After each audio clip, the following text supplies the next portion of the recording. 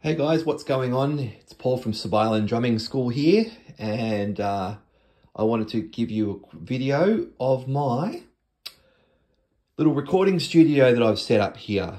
And I'm going to take you through each part and show you what I've got set up. Okay, so first of all, let's start with the what's got what's going on here on my desk.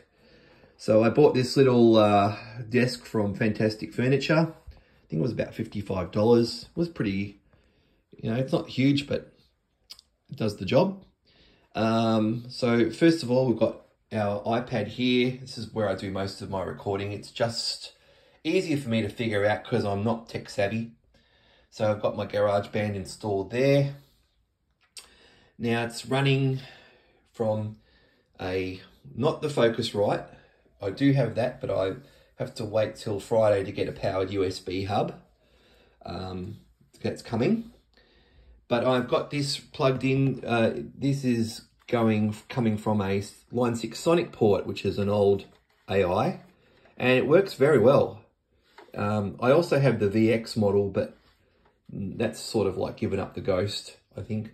So this one is working very well and is very compatible with um, with GarageBand on the iPad. Uh, so I've got my adapter when my power USB powered hub comes. Um, I'll set that all up with the Focusrite Scarlett Solo, which is my AI of choice here. Uh, it does what I want it to do. It's very basic, but that's all. Um, got my microphone plugged into the back and yeah, so that's with a um, with the pin connector there. Uh, here's my laptop. It's a uh, HP uh, Windows laptop. Uh, runs Ryzen 5 as the uh, as the processor. I think it's got 512 gigs of storage space, but that's not a big deal because I can always upgrade that. Uh, yeah, it works pretty well. My headphones are Superlux, uh, I think they're HD 681, you can see that. And they're good headphones, I don't I don't mind them. I put, picked them up from Artist Guitars, um, and I think they they do a good job, so, yep. Now my microphone over here, this is my microphone. Uh, it's a uh, Superlux, I don't know the brand of it, but it's a dynamic microphone, of course. It's got running, there's my pop filter, and it's on my special stand. Uh, here's my drums, my Alesis Nitro.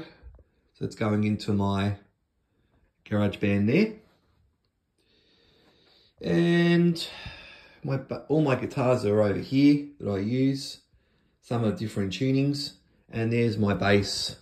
My Fen this is my Fender Squier Jaguar bass which I've had for 12 years now and has been doing a good job and I use that on all my recordings.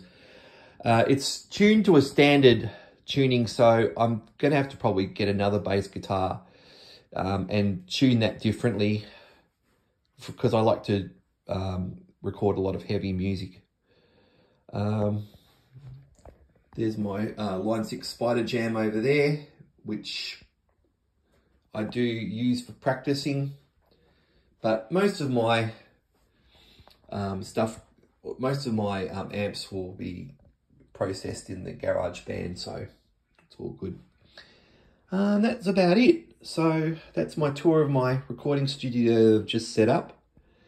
And uh, yeah, feel free to leave a comment and and please subscribe if you wish to and I will see you in my next video. Thank you and take care and God bless.